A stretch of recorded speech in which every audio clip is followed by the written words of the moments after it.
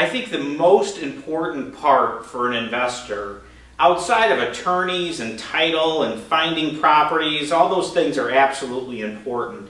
The, but the most important thing an investor needs to be thinking about is insurance for their properties.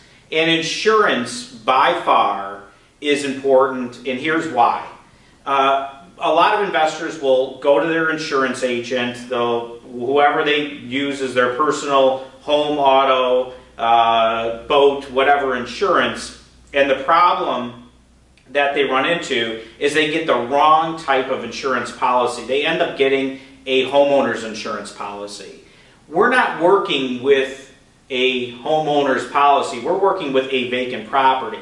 And the type of policy that I think every investor should have, and I would absolutely consult with your attorney or your uh, insurance agent in regards to this, but what I personally do is I get a vacant property policy on every one of my homes. So when I'm going out there and I am uh, purchasing an investment property, I am getting a vacant property policy on the home because there is going to be no one living inside the property. And a vacant property policy is more expensive than a uh, regular homeowner's policy. And the cost difference, a homeowner's policy for a $100,000 house is maybe $400, $450 a year.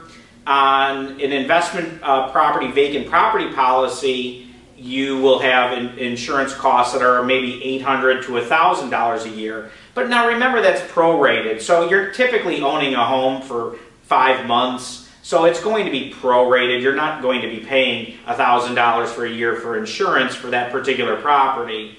But the cost is almost, it's sometimes double or a little bit more than a homeowner's insurance policy, but it's going to cover you is what's important that homeowner's insurance policy, if there is an event, a flooding event, or something occurs at the house, uh, you would not be covered in those cases. So uh, those are some important things in regards to um, having insurance. And I did, and I'm not going to talk much about this right now, but um, uh, newer investors, somebody who hasn't bought a lot of real estate, can also get like one of those home warranties. And I have another video on our website in regards to the home warranty of, uh, where that'll cover any unknown material defects. That's another way, I call it another level of insurance essentially that you can have to cover yourself when you're buying investment homes. So next part is we, I'd want to get into some of the rehab. I'm working with the rehab teams. How do we come up with some of the rehab estimates? And we'll uh, go into that next.